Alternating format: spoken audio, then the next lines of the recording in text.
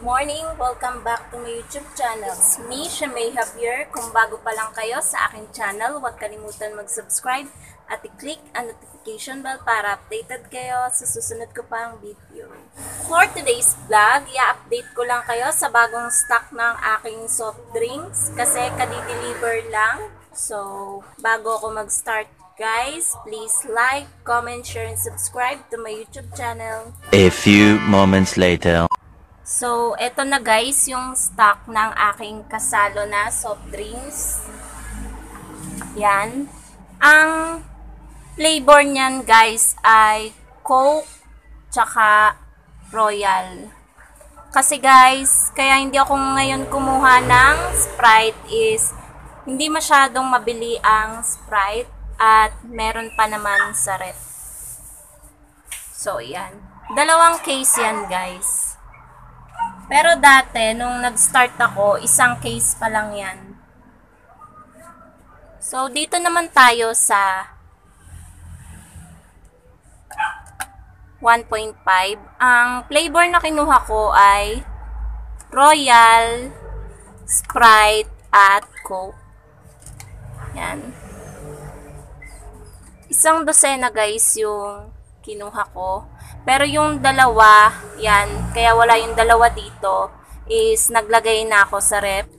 Tapos, ito naman yung aking mismo na soft drinks. Ang flavor din yan is Sprite, Royal, at Coke. Meron ako ditong isa, dalawa, tatlo, apat, lima, anim, pito, walong dosena ng mismo na soft drinks. Yan.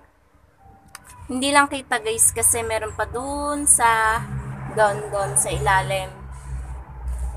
So, yun lang guys. Dati tag-iisang ano lang yan eh. Tag-iisang dosena.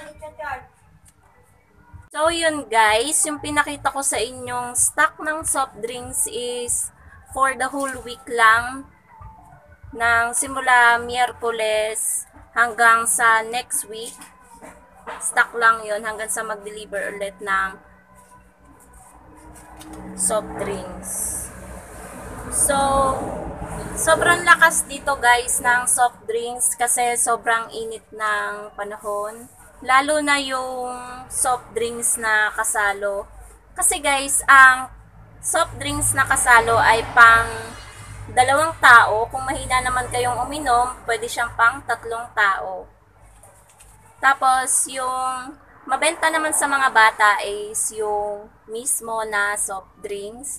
Tapos, kung buong pamilya naman kayo, iinom ng soft drinks, 1.5 ang bagay sa inyo. So, yun lang guys, ang update ko sa inyo sa stock ng aking soft drinks.